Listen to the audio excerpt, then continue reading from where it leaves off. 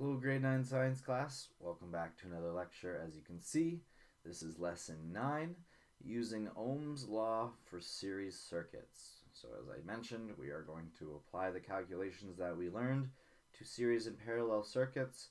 Uh, the first is series. So, we're going to learn about, as key points up here, key point 1 current in series circuits, resistance in series circuits, and what we call a voltage drop, which happens in series circuits. I'm going to do some explaining with um, some small examples. I'm going to do some simpler examples that are going to get more complex, and then you're going to be expected to do them. So that'll how this will work, and I believe the next lesson as well when we talk about parallel circuits. Let's jump in.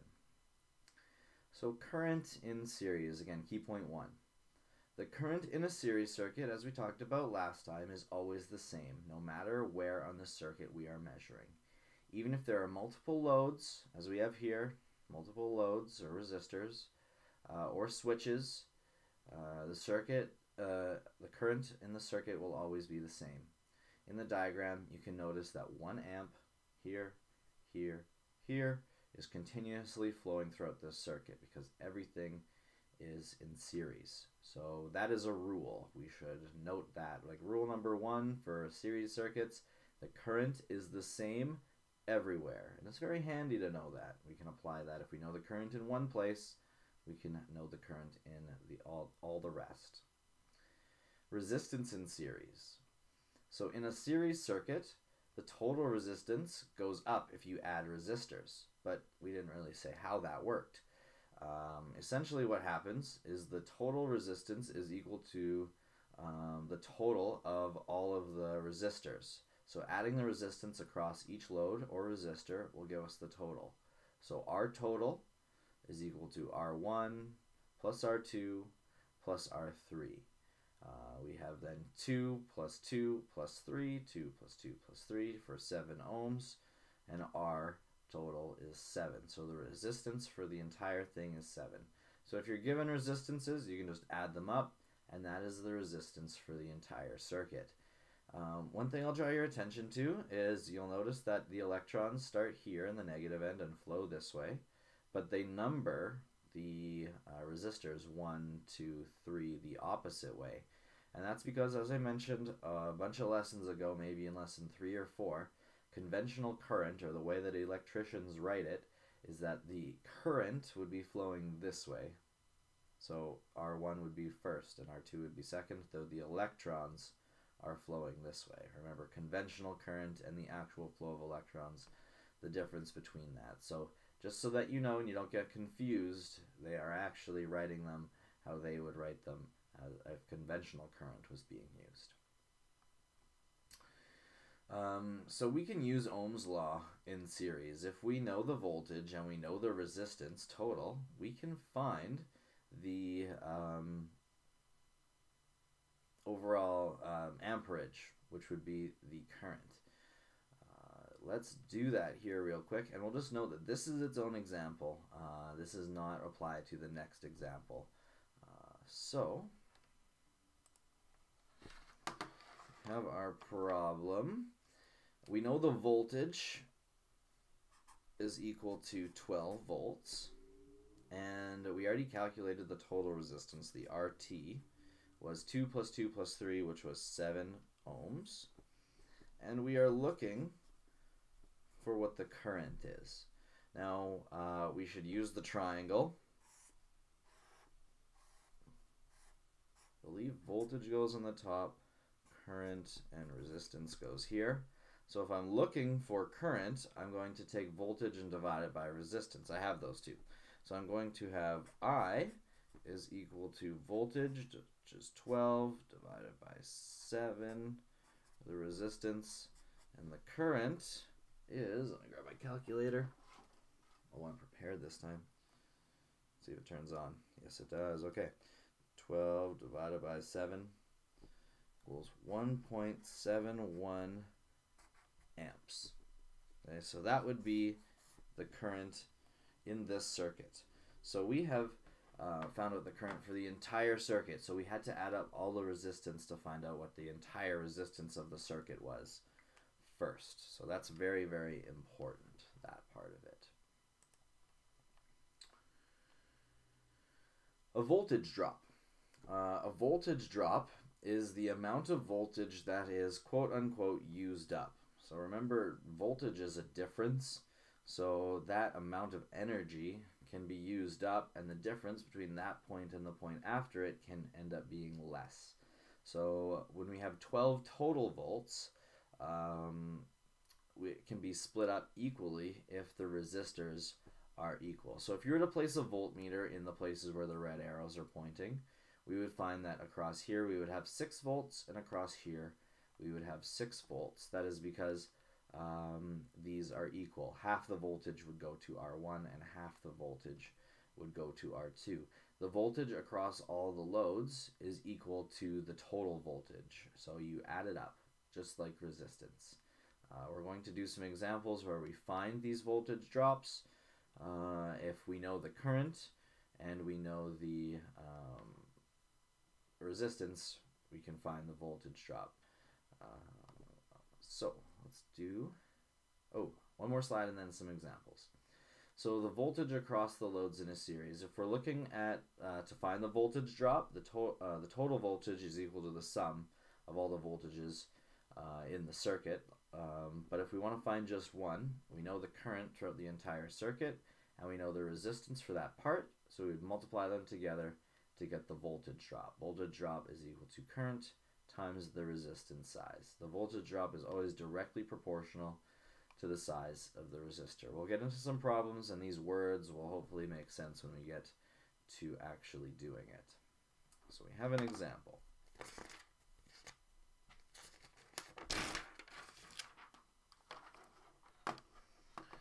We have a circuit here. Sorry, I gotta go all the way across. Clunky. We have an example here uh, where we want to find the voltage uh, across the uh, drop, uh, across the resistor, and that is this one right here. Sorry for the sound. Right there. That is what we want to find for voltage.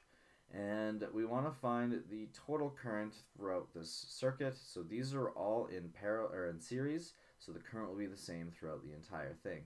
These voltmeters, remember, are not parallel circuits. They are just measuring devices. So when you have voltmeters here. Those do not count as parallel um, circuits. So to find the voltage across uh, the resistor, we would need to be able to find the total voltage, and that's given to us. The voltage total is given to us as 25 volts at the battery. Now, we know that each resistor will use up a proportional amount of voltage and all of the voltage will be used up. So I have volt 1 using 9 volts and I have um, number, we'll call it 3 on the other side using 6 volts. So that means that these two equal a total of 15 volts, which would mean we have 10 volts left. So the voltage across that resistor would be equal to 10 volts. 25 minus 15. Um, what we want to know as well is what the current is in this circuit. Well, this one actually gives it to us. We just need to pick it out. 3 amps. So this um, ammeter is along the circuit as we know it should be, and it has 3 amps shown here. So the current in this circuit is 3 amps. That one's a fairly straightforward example, but with these problems you might need to find these things out in different ways. Let's go to our next problem. So in this one, we have the voltages across each resistor, but what we're looking for is the uh, voltage uh, across the battery, or what is the total voltage. So the total voltage is equal to the sum of all the uh, individual voltages. So the total voltage would be 3 plus 5 plus 4 volts. That equals a 12 volts. So that is a 12 volt battery. Is our answer for the total voltage. And it's asking us for the current as well. Oh, that one's given to us. So the current is 4.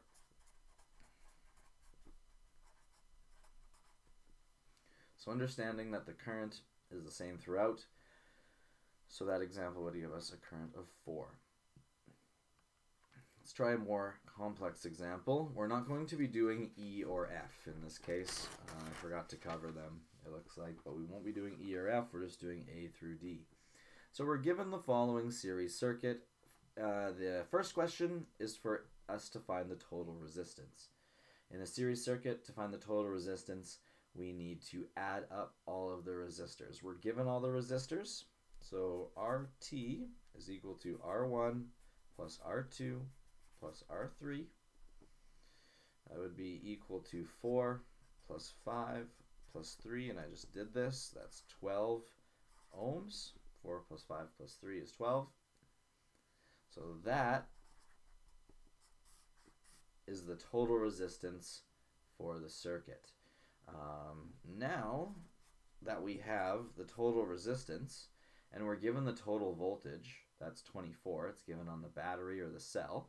So um, total voltage is equal to 24 volts. We have enough information to find out what the current would be, and that is question 2, or B, I should say. We should use our triangle. Don't be afraid to draw this triangle. Memorize it. I, R. And what we're going to be looking for is current. So we cover up the I. I is equal to V over R. That would be equal to 24 divided by 12. Conveniently, I is equal to 2 amps. And that is the answer for question B. When we know that the voltage is 24 and the resistance for the circuit is 12, um, we can find the total the current of the circuit to be 2. For C, the question asks us the current through each resistor. Uh, the current through each resistor in a series circuit, so all would, I don't know why I put an O there, of course, all would be the same. The current is the same no matter where you are on a, a series circuit. Current is the same. We found this, uh, the current to be 2, so that means the current would be 2. And now we're going to do D, which is covered by my mouse. Of course. We'll do D.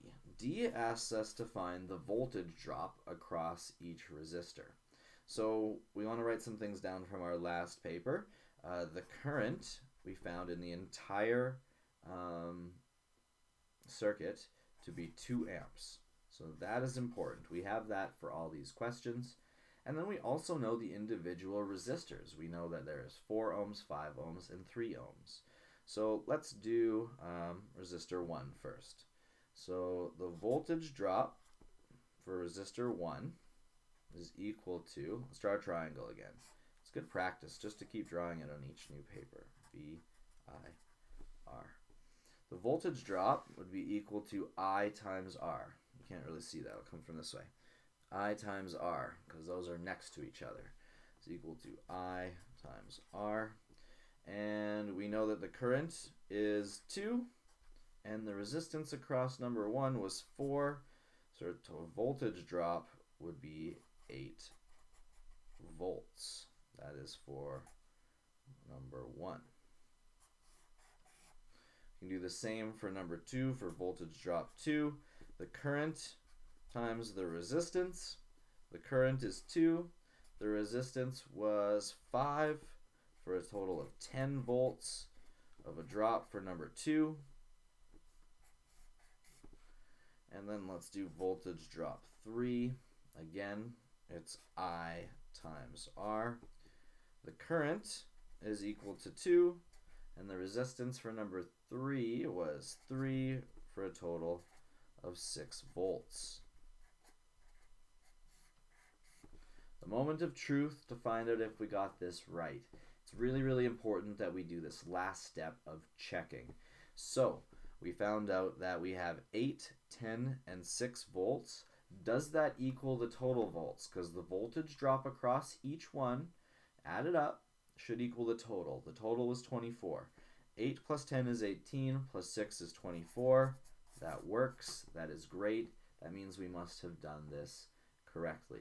So voltage drop 1 is 8, voltage drop 2 is 10, and voltage drop 3 was 6.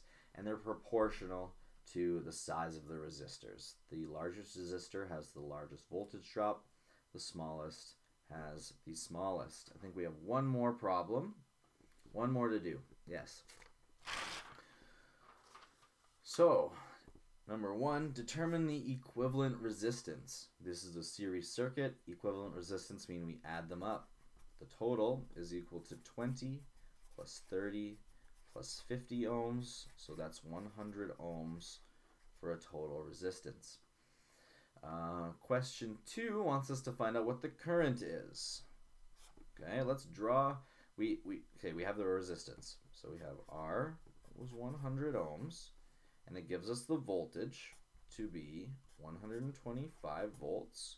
We should draw our triangle like that. To find out that to find the current, we need to divide these two. We cover that one up. Find the current.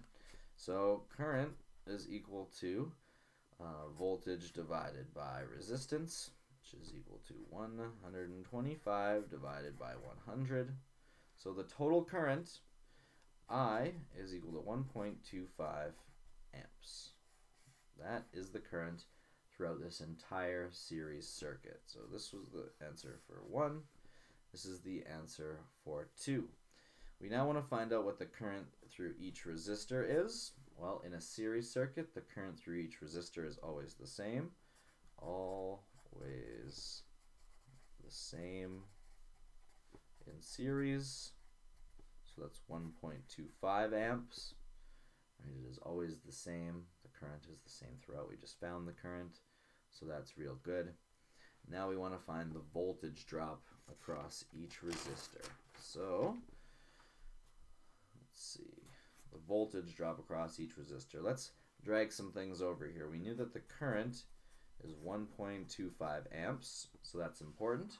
And now we know that each individual resistor would have each uh, voltage drop. So resistor 1 is equal to 20. Let's draw our triangle one more time. Just for good measure, voltage, current, resistance. What am I trying to find? I'm trying to find the voltage. So voltage is equal to I times R, which is equal to I is 1.25, R is 20. So that means the voltage drop is equal to, I think it's going to be 25. It's definitely 25, but this let me let me double check. 1.25 times 20, yes, is 25 volts. So that is for the resistor number one. Let's do resistor two, which is 30 ohms. Voltage is equal to uh, current, which is 1.25, times the resistance, which is 30. So the voltage is equal to 38 volts. Let me check that one more time. 30. Ha, so close. Well, this is 37.5 volts. I was off by 0.5. 37.5 volts. And then we have resistor number 3, which was 50 ohms. Voltage is equal to 1.25 times 50, which would equal, the voltage would equal 62.5 volts. So this is for number three, this one is for number two, and this one here is for number one. So in the moment of truth, to see if we got it right, we should add it up to get 125. Um, 62 and a half plus 37 and a half gets us 100 plus 25 is 125. So that means that we did it correctly. So this is a little bit of math, a little bit challenging. If you guys have questions, please let me know. But I believe that we can work through it uh, together. So definitely do the practice. There's lots of practice for these ones. I can possibly find more, and there's going to be lots of practice in parallel circuits as well. So thanks so much for watching, everyone, and I'll see you soon.